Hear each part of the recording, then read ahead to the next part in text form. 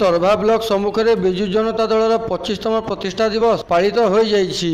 ଇତ୍ୟ ଅବସରରେ ହୋଇଥିବା କାର୍ଯ୍ୟକ୍ରମରେ ମାନ୍ୟବର ଅର୍ଥ ଓ ଅବକାରୀ ମନ୍ତ୍ରୀ ନିରଞ୍ଜନ ପୂଜାରୀ ଯୋଗଦାନ କରିଥିଲେ।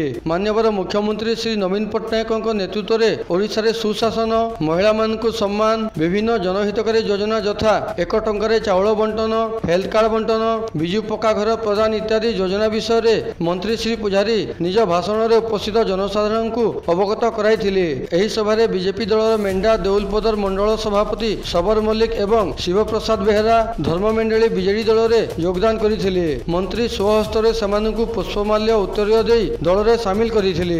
ସୁବର୍ଣ୍ଣପୁର ଜିଲ୍ଲା ବିଜେଡି ସଭାପତି ସରୋଜ କୁମାର କମ୍ପଙ୍କ ଅଧ୍ୟକ୍ଷତାରେ ହୋଇଥିବା ଏହି କାର୍ଯ୍ୟକ୍ରମରେ ଅନ୍ୟମାନଙ୍କ ମଧ୍ୟରେ ପୂର୍ବତନ ନଗରପାଳ ଶୈଳେନ୍ଦ୍ର କୁମାର ସାହୁ ବ୍ଲକ ଅଧ୍ୟକ୍ଷା ସସ୍ମିତା ମଲ୍ଲିକ ଜିଲ୍ଲା ପରିଷଦ ସଭ୍ୟ ପ୍ରବୀଣ ନାଗ ପ୍ରଭାତ ପାତ୍ର ଗଗନ ଅଗ୍ରୱାଲ ସୁଭାଷ ସେଠୀ ମିତ୍ରବ୍ରତ ମିଶ୍ର ହେମନ୍ତ ମାଝୀ ଅଶ୍ୱିନୀ ବିଶି ମାନଭଞ୍ଜନ ମିଶ୍ର ରାଜେନ୍ଦ୍ର ଝାଙ୍କର ପ୍ରମୁଖଙ୍କ ସମେତ ଶତାଧିକ ଦଳୀୟ କର୍ମୀ ଯୋଗଦାନ କରିଥିଲେ ସଭା କାର୍ଯ୍ୟ ପରେ ତରଭା ଏଇଏସ୍ କଲେଜ ନିକଟରେ ହେବାକୁ ଥିବା ଇଣ୍ଡୋର ଷ୍ଟାଡିୟମର ଭୂମିପୂଜନ ମନ୍ତ୍ରୀ ଶ୍ରୀ ପୂଜାରୀ ସ୍ୱହସ୍ତରେ କରିଥିଲେ